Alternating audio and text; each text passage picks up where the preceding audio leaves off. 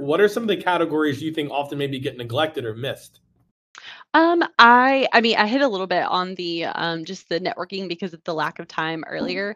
Um, but I think that even email gets overlooked a lot. Um, I talked to a lot of attorneys who may have started an email initiative, whether it's a newsletter or some sort of a drip campaign, and then it's just something that kind of falls by the wayside. And so it's not as common as I would think, but I, you know, kind of live and breathe this every day. But that one seems underutilized, I think.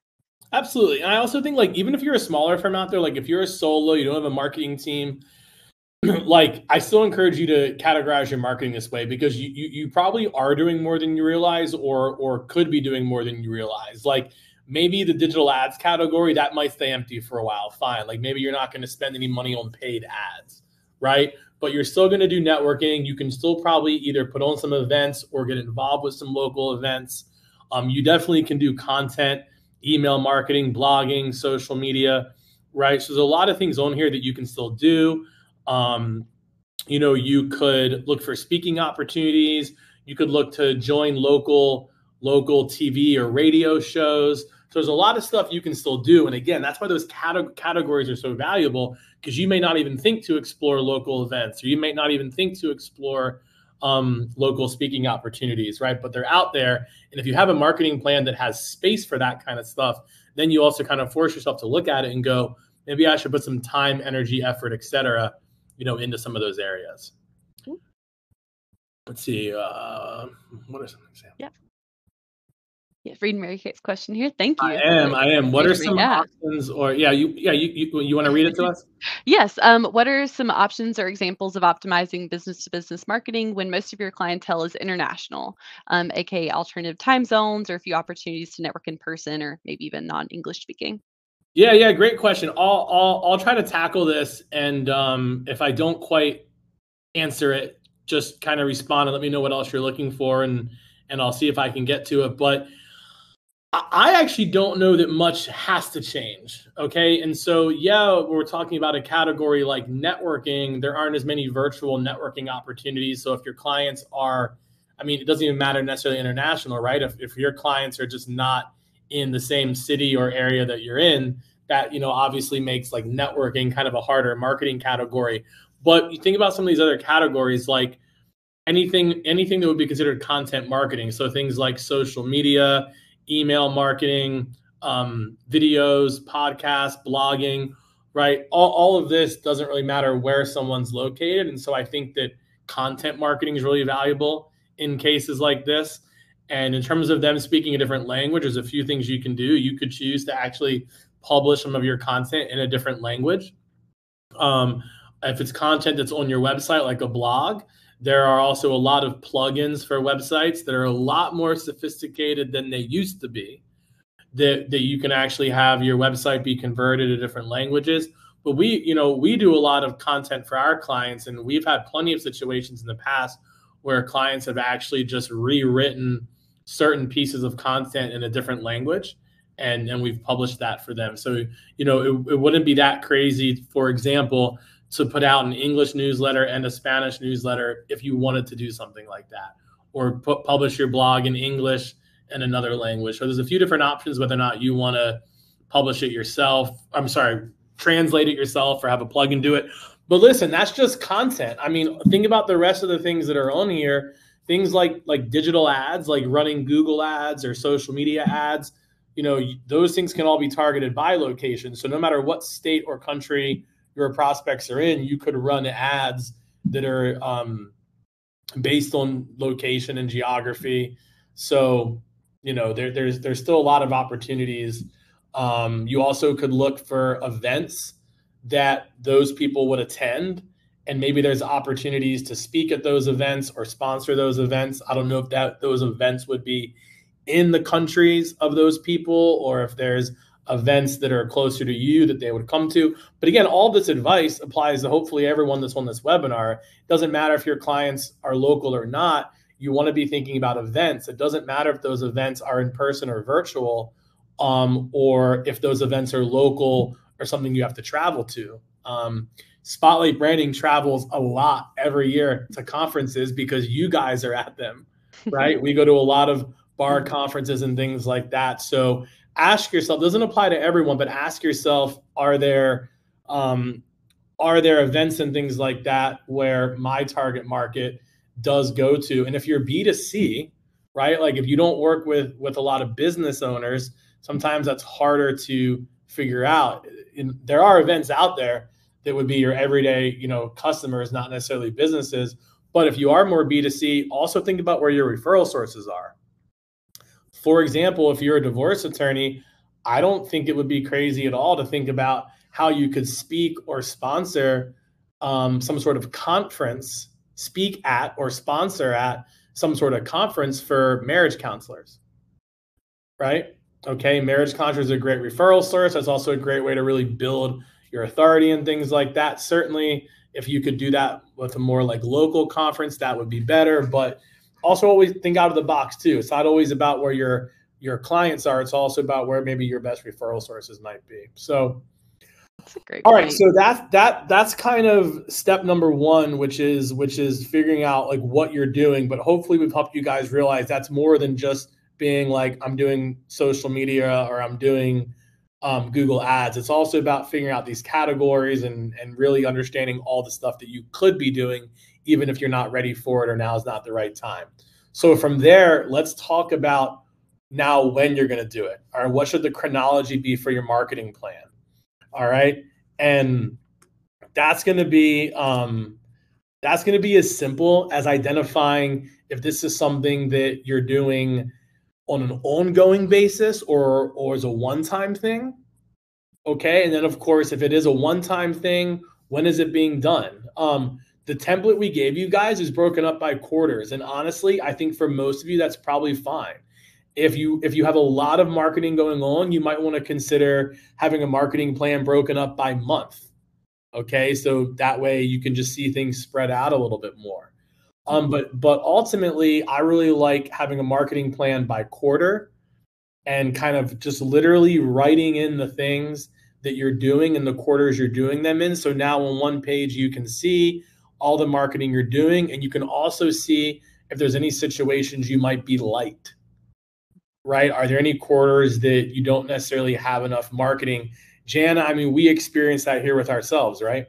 We do. Absolutely. And I think uh, kind of going back to what I said earlier too, I think whenever you do find a time that is light, I think it's worth uh, seeing, you know, what do you have more available in terms of resources? Is it time? Is it the ability to travel and mm. go to some of these conferences? Is it the that you have the, you know, uh, time to blog yourself or maybe do some videos or do you want to you know maybe do some paid advertising so um, i do love the idea of quarterly too i think it just makes it feel more manageable and more eh, like something you can do consistently versus every single month four times a year you're updating it and that just feels more palatable to me so yeah, I, yeah agree. We, I, we I agree ourselves and I think the other, like, again, I know we're saying something a little bit obvious here. Like, of course, you're going to put down when you're doing it, but I think that you know, I've looked at marketing plans before and it's just like it's just not clear to me like is this thing ongoing or recurring or is this is this a one-time thing, mm-hmm. right?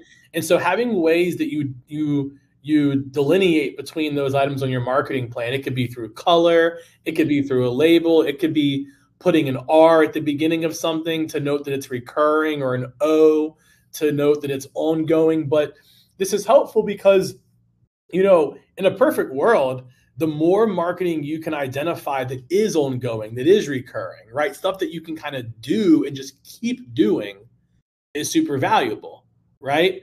Um, and being able to see that when you're looking at your marketing plan, what marketing falls into either being recurring or ongoing is, is really valuable. Um, but a lot of times, and, and we're no different at Spotlight Branding, that all has to be supplemented with one off things like putting on an event or going to an event or something like that. Also, you might decide that you want to try something for a period of time. You might say, ah, yeah, in quarter four, I really want to try Google Ads. So you go ahead and put it on there, but just for quarter four. Now, if it works, you might expand it to be an ongoing thing, but it also allows you to kind of make note of things that could be ongoing, but maybe you're just trying them out initially. A little bonus tip that I want to give everyone, and it's kind of the second half of this slide, so you may have already read it, but a bonus tip I want to give you is to use placeholders. Jana was talking about how things might be light in certain areas. Um, I think sometimes a marketing plan can be intimidating because you don't know everything you want to do. You certainly don't know two, three, four quarters from now. And by the way, I'm sorry I didn't mention this earlier. My advice would be to try to do these, um, to do these if you can, if you can, always projecting three quarters out. So you've got the current quarter plus three. So you've always got basically a, a, a 12 month marketing plan, right? Um, but I know that it gets a little bit harder the further you get out to really know what you might want to do. So use placeholders. Um, look like if you know that uh, in this quarter you want to try Google Ads or you want to start a podcast or you want to hire a social media agency like Spotlight Branding, like great, like pencil that in. Let me take it a step further though. Maybe you don't know what you want to do, you just know you need to do more. Okay, pencil pencil that in. Hey, two quarters from now, I know I need to do something more. What area do I think I need to do it in? Now, here's, here's where those categories help you. I don't know exactly what I want to do, but I can maybe say, I know I know I need to be doing more content wise, or I know I need to be doing more networking. I don't know exactly what group I want to join or agency I want to hire or what I want to do, but I'm going to pencil in just, you know, campaign A, right? Or, or whatever. And, and then what you, you know, that forces you to do on whatever cadence you are working on your marketing is you realize at some point you got to go and decide what that's going to be. But what you're essentially doing is creating a goal for yourself. So, so you can look at your marketing plan, see where you're light, and pencil stuff in. Don't be afraid uh, to use placeholders. Hmm. Jan, I know we had one or two questions come in in the question section. Were any of those um, anything I should grab? Yes. Um, so one, um, Monty asked about just sharing the slides. So if anyone would like the slides after the presentation, um, I can include those whenever we send out the recording because we are recording this as well. Um, and then we had another one. Is it possible to provide a comprehensive and detailed table of contents for a marketing plan? And I guess just to clarify um, on that one, is that something like is that are you wondering if a table of contents is helpful for the marketing plan you're building, or do we have one already? Um, yeah, that's what I was wondering too. Like, who who would the table of contents be for? Like, are you like are you talking about if you had your own marketing plan, wanting to create a table of contents? General table um, of contents. Yeah, you know, so obviously it's kind of hard because because you know you're typing and we're talking um, so if you if you ha- have a second to explain, go for it. I'm going to give you I'm going to give you my my answer, but if I'm misunderstanding something, please let me know. But I, I I'm having trouble seeing the value of a table of contents. And and listen, I'm I'm I'm always a keep it simple and then make it better kind of guy, right? And so, Jana, you can go to the next slide actually because it, it, it's a, it's a, it's another it's, it's again it's a screenshot of this template we showed you guys a few minutes ago. Like I'm a big believer in keeping a marketing plan simple, right? Having it be on one or two pages. Now, maybe if we were, if we, I wonder if what we're thinking here isn't a marketing plan. Okay, let me explain what I mean. If you're, if we're talking about things like who's our target market, what's our marketing message, um, what are our unique selling propositions, what's our elevator pitch, you know um, what what are our colors? You know what's our style? Do we have any design rules? I, I don't I'm, I'm, by the way i'm not saying that you guys need everything i just said okay? I'm just trying to think of some of the things that might be on a list like that. That's more of like a marketing guide or a design guide or like a marketing brief. Um, something like that a table of contents could make sense to me but a marketing plan is kind of a a living document that's always changing. So the way I picture a marketing plan, I don't think it would need a table of contents because it's going to look kind of like what you see on the screen right now most times. There's not a right or wrong way to do a marketing plan. So to the person asking the question, maybe the way you picture it, maybe a table of contents could make sense, right? And and uh, if you want to share any of that i'm happy to kind of tackle that more as we keep going but in terms of a layout like the one you're seeing on your screen now where you're actually building categories and then you're building chronology and doing some sort of table even if you weren't doing a table even if you're doing a google doc and your chronology went this way you know, generally speaking, I, I don't know the table contents would be necessary. Would be my would be my thought, but I'm always open to kind of seeing seeing how things like that work. So if you want to share further on on how you think that could uh, help you or benefit, I mean, we might all learn something. So I really appreciate the question. Um, but going back to the the the chronology of things, and again, we're going back to this template here. You guys can see now how we have those four quarters, right? Again, if you're doing a lot of marketing, you could just picture this being bigger, okay? Um, um, but hopefully, um, hopefully that's kind of making sense to everyone. Mm-hmm. All right, Jana, let's talk about step three. So we're more than halfway home already. Um, so we, we talked about how to identify what you're doing and how important categories can be. We've talked about um, now actually placing those things chronologically in the right place. Okay. Maybe using placeholders, penciling things in for the future, maybe trying to have a, a 12 month marketing plan at any given time. Okay. But, and this may be obvious, but we need to keep an eye on what this is going to cost you. Okay. And more often than not, you know, we're referring to um, money, but this could be money or time. Mm-hmm. Right. Um, so you know, smaller firms um, might have more time than money. So another, you know, another benefit of your marketing plan is it can help you see where you've got more marketing going on than than other quarters or other months. And again, looking at that marketing, going, okay, well, what if this marketing is time consuming and what isn't? Because networking, events, things like that, probably going to speaking, probably going to take up more of your time some of those things that are kind of in the background, like um, maybe running some ads or things like that, you're probably not the one doing it. Um, probably not going to take up much of your time.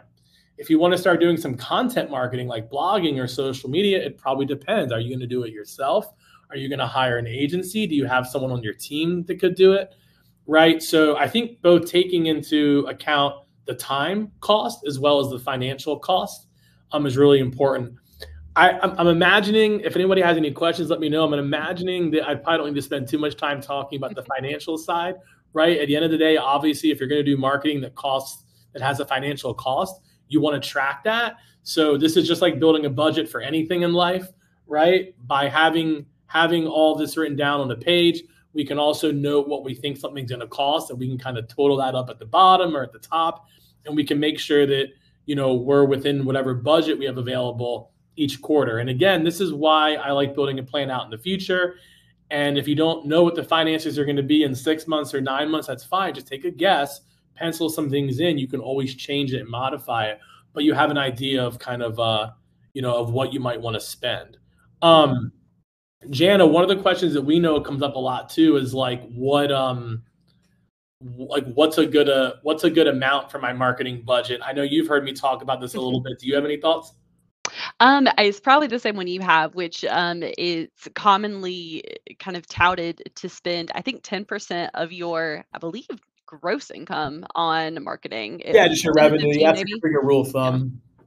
That's that's the one I've heard. I think that um, you know, it can be daunting, um, especially if you are solo and like really small, just getting started out, which is why I'm a big fan of, you know, kind of knowing what your your cadence looks like and knowing when you have more time to dedicate time versus when you have more money. Um, and I think the other note that I'll add is the importance of updating those numbers after the fact if you are estimating. So if you think you're going to spend $500 over the next quarter on on digital ads and you you know realize it's more or less than that, kind of having that documented, big on mm-hmm. documentation, mm-hmm. so that you can reference it next time you want to come back to it and have a better estimate to better kind of budget it. Yeah, you know, and and you know, we we experience this a lot in business like just because you were under budget isn't always a good thing. It, it, it, depends on what the reason is, right? So the other reason that I, you know, I really like budget being an important part of your marketing plan is because, like, I, I, there's not a lot of pride, in my opinion, in underspending in in your marketing. And yes, you could say I'm a marketing guy, I own an agency, so maybe I'm biased. But at the end of the day, marketing is an investment in your business, right, to help you grow your firm. And so um, it's one thing to put everything into your marketing plan and see and see what that totals to. It's another thing to commit to spending a certain dollar amount or a certain percentage of your revenue on marketing so that now you can also look at are you actually investing back into your firm the way that maybe you you you should be or that you might want to consider doing right? And and and so there are situations where the benefit of this entire practice of building a plan might help you realize you're under investing in your firm right? You're not doing enough. You're not spending enough.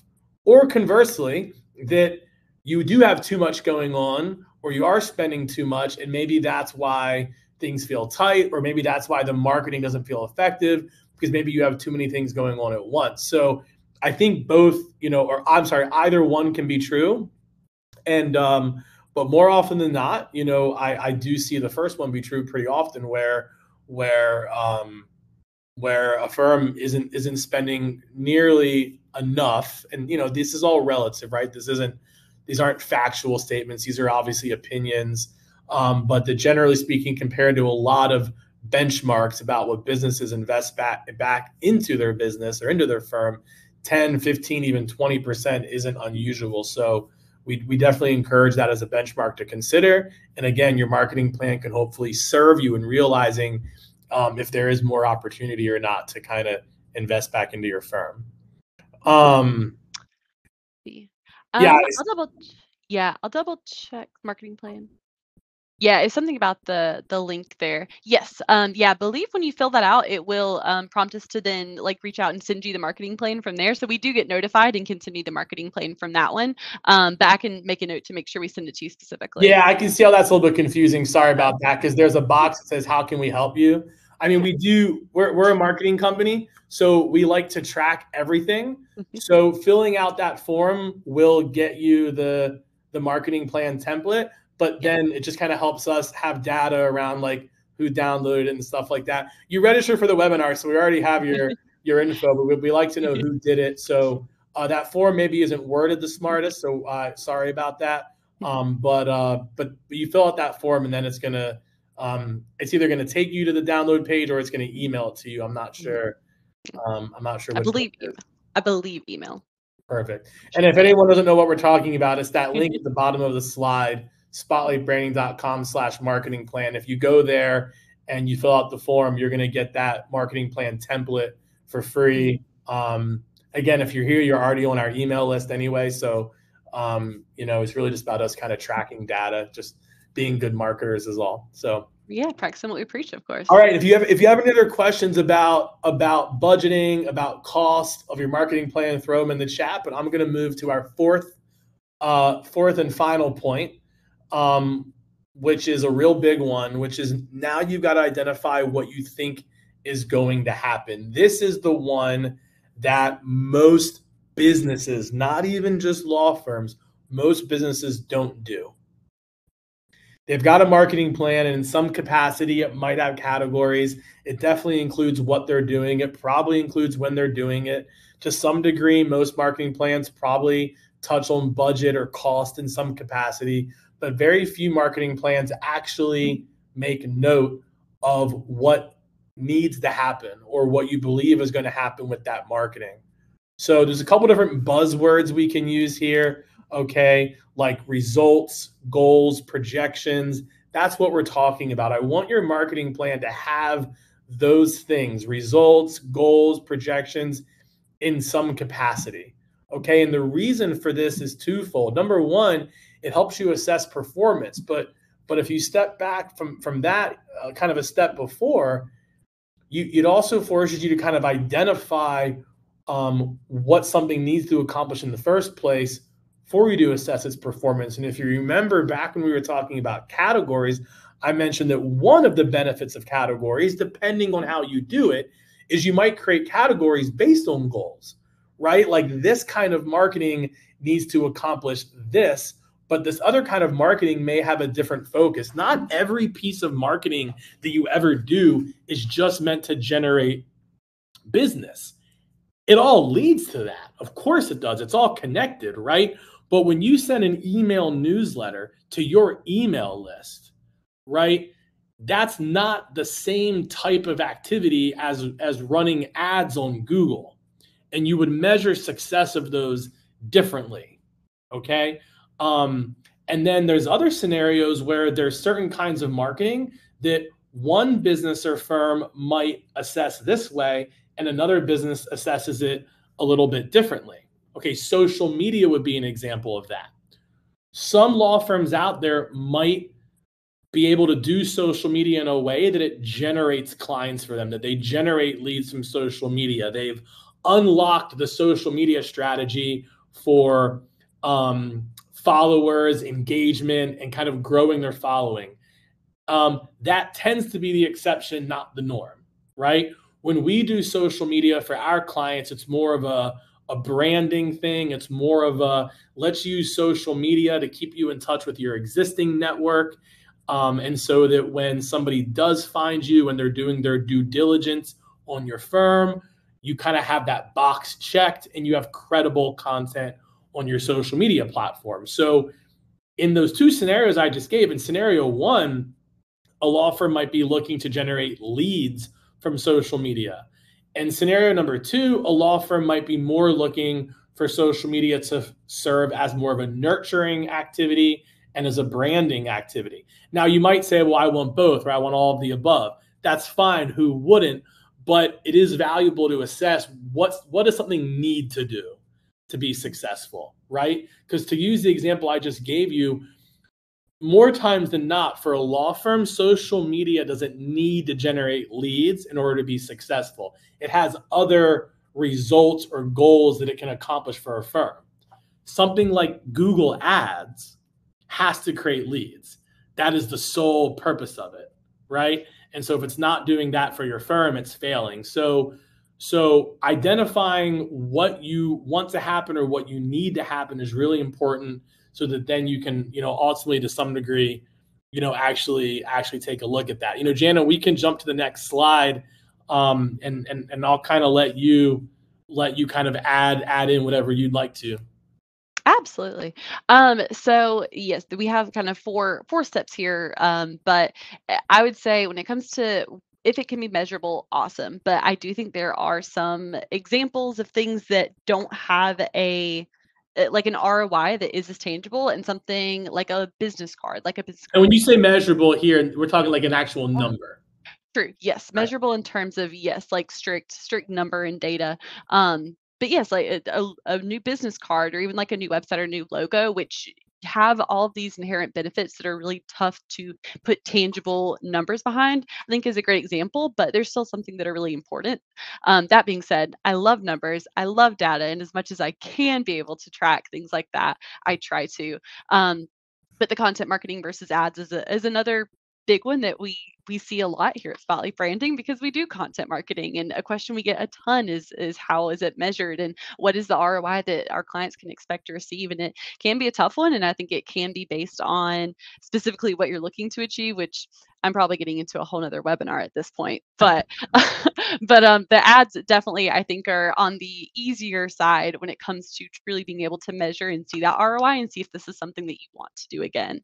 Right. Um Right. Yeah. No. Like in other word, in other words, in other words, here's how I would word it. Like, okay, if you can place a numerical goal or projection for something, great. Mm-hmm. But two things to consider. Sometimes, sometimes you can't. Okay. Um, other times, maybe you can, but that thing isn't really what you care about. Okay. Mm-hmm. So, you know, a couple examples that might be I talked about email newsletters earlier, right? You could you could focus on something like your open rate or on social media, you could focus on engagements or followers or likes. But do those really represent success? I mean, maybe depending on what your goals are, right? But we know from doing content marketing for a while that the best ROI from an email newsletter is going to be referrals because you're staying in touch with your network more so referrals are going to go up right? So your goal your goal of something like your newsletter might be to see your referrals increase okay? So you can still have something numerical but now it's kind of cor- correlation right? Um, or eh, like the example we have on the screen there number four you might have some marketing activities you do. Granted it would probably be fewer but you might have some marketing activities you do that it's not even about an actual numerical outcome. Like maybe you want to do some of local events because you want to feel like you're more part of the community. You're trying to maybe you're trying to build some PR, maybe you're trying to build into the company culture And so even just identifying that as the goal, right? We want to do this thing because afterwards we want to we want this to be true. Maybe that's something measurable, a number. Maybe it's more of a feel thing. But the bottom line is the habit I want to encourage all of you to get into is when you're doing marketing, identify what is the main thing or the main one or two things that marketing is to accomplish. And then you can set that goal or you can set that projection. And then as that thing is happening or after that thing ha- is happening or has happened, you can actually go back and look did it achieve the goal? Right? Yeah. Oh, I was going to get to the next one on performance. Again, the marketing plan that we are giving away. Yeah. Well, and again, I know they can't quite see it, but the reason we keep, keep coming back to it is like we've got sections inside of those squares mm-hmm. for like results or some sort of projection. Okay. You could do this per per kind of quadrant or, or section, or you could do this for every single individual piece of marketing. You could identify a result or a goal. Okay. So the template's meant to be kind of a simple starting point, but you know, you know, definitely you can make it your own. Absolutely. Uh, and color coding. I'm big on like spreadsheets and color coding. So feel free to kind of run with this and really make it your own. Um, but yes, when it comes to assessing, um, for sure. I, I, I will repeat it till the day I die. Documentation. Um, you want to know all the facets of what worked, what didn't, and I would even say, um, sorry, just to to start running with this one, Mark. Um, but if something doesn't necessarily hit the goal or the projection that you were anticipating. I think one thing that we've learned is to look at a whole bunch of different external factors and see if it is that thing in a vacuum or maybe it was not the best time of year to do that thing. Maybe that thing, um, you know, had these external variables that made it not perform as well as you thought. So I wouldn't say just because one thing didn't perform at the level that you expected it to should mean that you shelve it forever. Absolutely. Um, I'm curious to know if anyone out there um, who does a marketing plan, if to any degree you do identify your goals or your projections, if you be up for sharing that um, or how that's gone for you, we'd love to hear from you. But but correct. I mean, ultimately, look, I think there's two things to consider when when you do this. Uh, a couple of things actually, I should say. Number one, don't be afraid to guess. Okay, mm. um, at what you think is going to happen. Like you could take a total guess, and then because here's what's going to happen: if something doesn't perform like you projected or wanted, usually it means one of two things.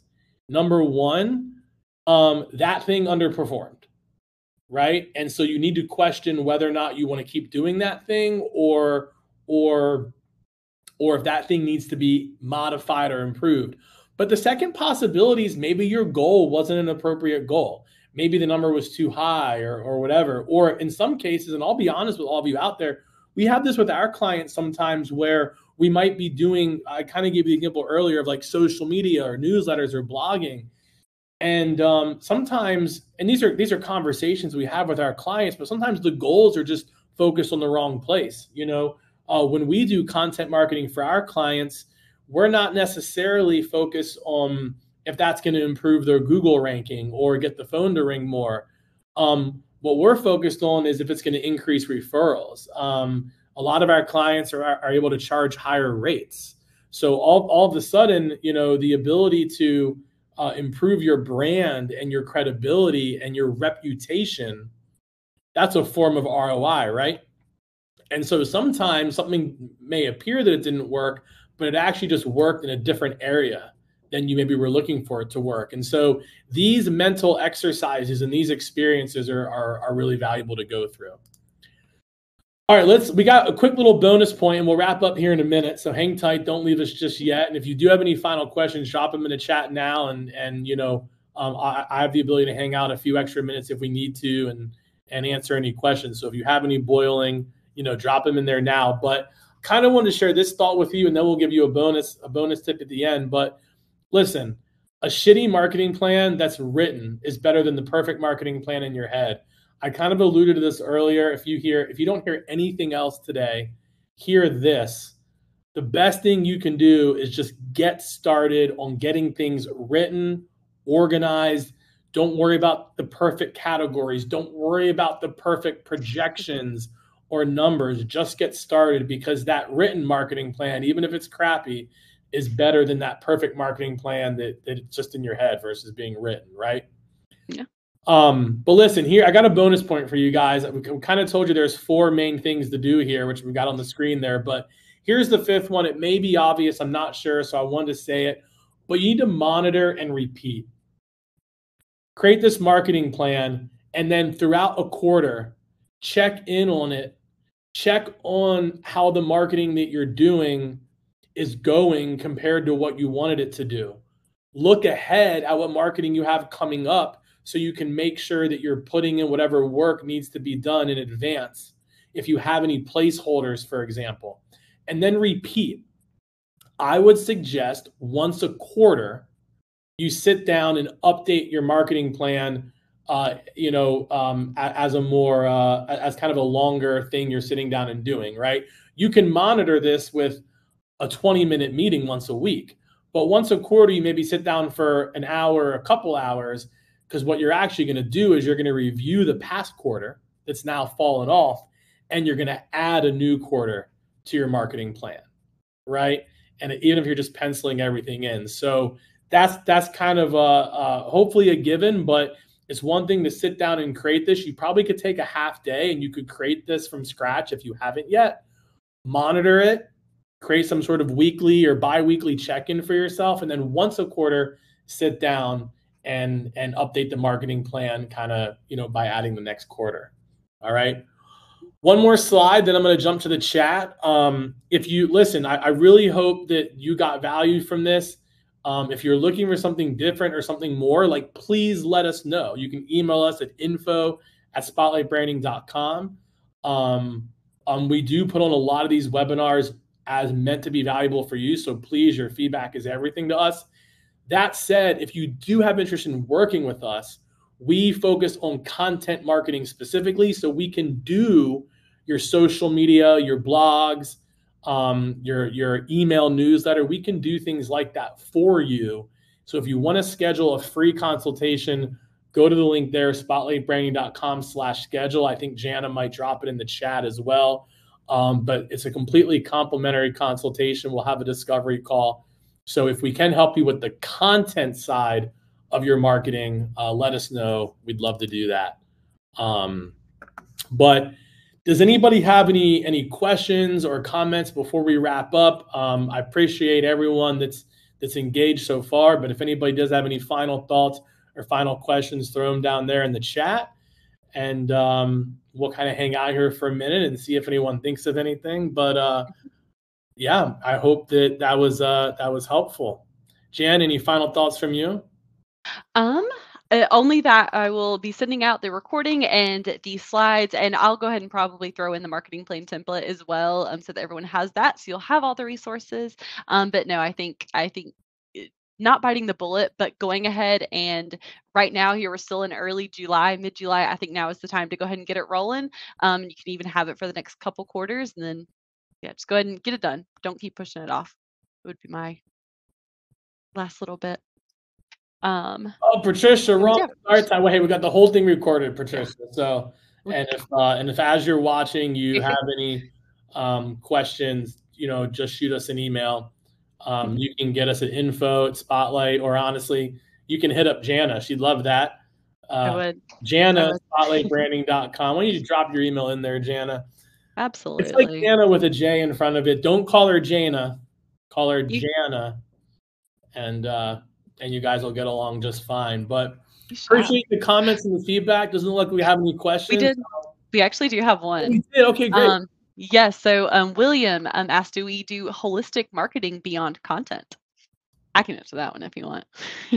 I love William. I love the words the holistic. Uh, it, it's well, it's yeah. funny. My my wife my wife is in medicine and is talking about holistic medicine. So my I, am guessing you didn't mean like holistic medicine. Um, um. So yeah, great question. So we as in Spotlight Branding, we focus just on content, and that's very deliberate. It would be uh, similar to how most law firms are going to maybe focus on a practice area or two so they can be really good at that at that practice area. So we believe in a large uh, amount of of or forms of marketing, if you will.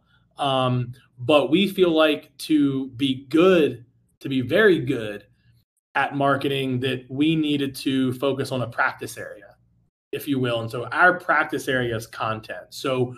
We strictly do content and we strictly do it for law firms. And so we're going to do things like we're going to actually write your blogs for you. We're going to actually create your social media content for you. We're going to uh, do video FAQs and actually give you the topics.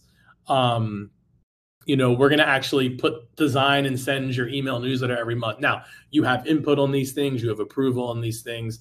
We've got a whole process to where you still feel like very much you're part of the creation process. But um, when you start adding other areas of marketing on top of that, it just becomes hard to continue to be good at those things. So it's not for a lack of believing that you should dabble in all of these areas, but but just like a law um, a law firm might focus on estate planning or family law or business law or criminal defense, uh, where we we ourselves focus on certain areas, and then we certainly can provide referrals for other areas of marketing. So.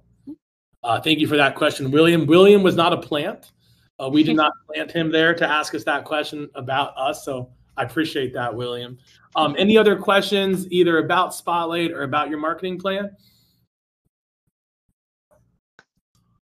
Any coming through, but again, feel free to email info or Janet at spotlightbranding.com um, with any, and we'll, or if you just want any other resources and with any feedback. If it's nice, send it to me. If it's not as nice, you can send it to info at. yeah. But do send it either way. We do want your feedback. Yeah. And uh, if you have any topic ideas, if there's something that you would like us to do a webinar on that would serve you and your firm in, in any sort of marketing capacity, let us know and we'll do our best to put something together. Again, we put these on for you guys, so your feedback is everything. So please, please, please um, email us info at spotlightbranding.com or jan at spotlightbranding.com. Tell us what you liked or what you didn't like or what you might like in the future. Uh, please, please, please do that. It's very helpful. Um, all right. Well, no more questions came in. I hope it was helpful. And I hope that we will see you all either on social media or maybe on one of our future webinars. Thanks, everyone. Bye.